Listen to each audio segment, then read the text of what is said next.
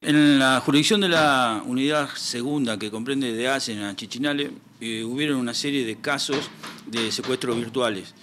la modalidad eh, consiste en que una persona llama a cualquier número y hace referencia de un accidente de tránsito. En este accidente de tránsito, tránsito manifiesta que el esposo o el hijo ha sufrido un accidente y que habla el comisario García.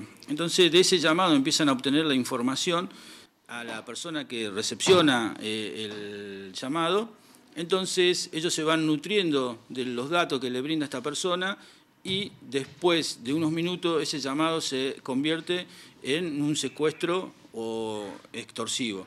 Digamos, estas personas empiezan a pedir dinero, lo que tengan en la casa, y que lo lleven a determinado lugar, donde una tercera persona o segunda persona retira el dinero y desaparece.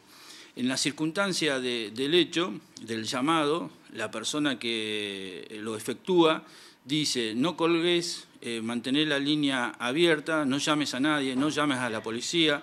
Esta persona entra en un estado nervioso que por ahí no le permite reaccionar. Lo que se aconseja es no atender llamados de estas características.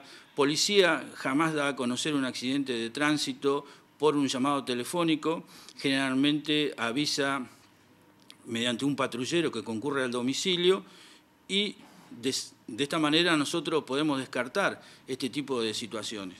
Es decir, lo que aconsejamos a la gente que concurra a la policía a hacer la denuncia, que eh, los familiares corroboren si la persona a la cual hacen referencia en el llamado está bien, para poder evitar este tipo de eh, circunstancias. Generalmente piden dinero el que tenga, como dije, en la casa y que en la vivienda puede llegar a haber mil pesos, dos mil pesos y a ellos con eso les es suficiente. Nosotros estimamos que son llamados al azar. Generalmente cuando llaman al fijo obtienen el número en guía y los llamados en celular eh, son al azar. Eh, tenemos conocimiento de cuatro a cinco casos acá en la ciudad de General Roca, después hubo en Asen y un caso similar en Cervantes. Después sabemos que hay más casos que no han sido denunciados porque la gente no ha abonado ningún dinero y o ha cortado la llamada.